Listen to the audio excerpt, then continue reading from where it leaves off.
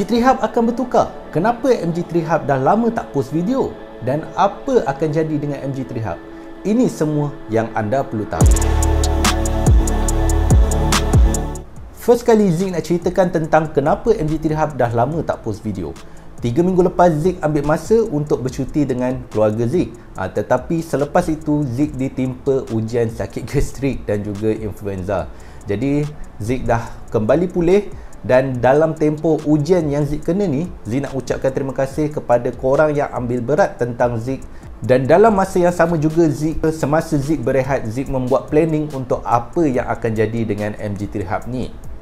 Yang pertama adalah MG3 Hub yang sebelum ini tidak akan lagi sama dengan yang akan datang. Apa yang akan tak sama?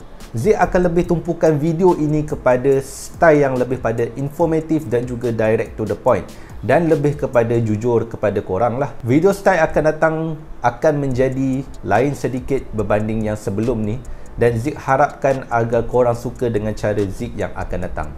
Ini adalah disebabkan Zik banyak tahu subscriber Zik sukakan ilmu otomotif dan juga racun yang direview oleh Zik. Kedua adalah MG3 Hub selepas ini akan mempunyai konten ekstra iaitu video daripada Borneo.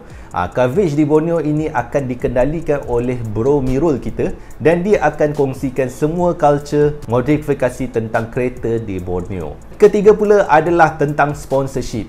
Okey, untuk yang ni MG3 Hub dah mula dapat pelbagai sponsorship daripada kedai-kedai otomotif. Akan tetapi Zik tak nak korang rasa contoh macam ala Zik. Barang sponsor bolehlah cakap baik-baik. Zik tak mahu itu berlaku. Ha, yang Zik inginkan adalah Zik ingin review secara jujur kepada korang apa yang bagus tentang produk itu dan juga apa yang tak bagus tentang produk itu.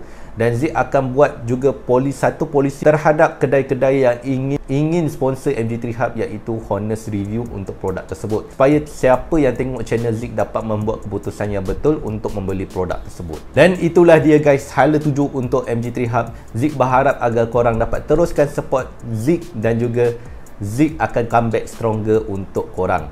Ha, Zik doakan agar korang dimurahkan rezeki juga dan jangan lupa modify itu pasti. Kita jumpa lagi akan datang. Assalamualaikum dan ciao.